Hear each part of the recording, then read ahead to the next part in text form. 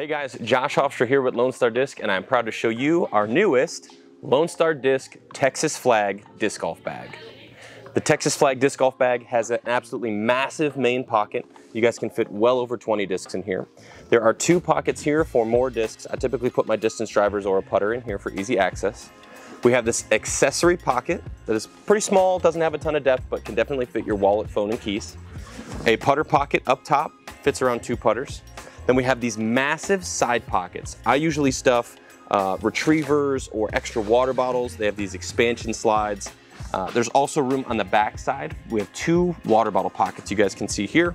They're not gonna fit anything bigger than like a Gatorade bottle, but they definitely serve a purpose when carrying all that excess water, especially in the summertime. You guys can also see these super awesome wide straps. These really help disperse the weight of your disc golf bag across your shoulders. Um, I personally think this is a huge godsend for me because I overpack when I go to the disc golf course. Some pretty awesome back padding here, as you can see. Uh, side pockets do also come with this adjustable strap. Like I said, I'll hold retrievers, umbrellas, all that sort of stuff. So, hope you guys enjoyed this brief overview of the Lone Star Disc Texas Flag Disc Golf Bag. As always, we love seeing you guys out there throwing that Lone Star plastic. Follow us on our Facebook, Instagram, and YouTube, and we'll see you out there.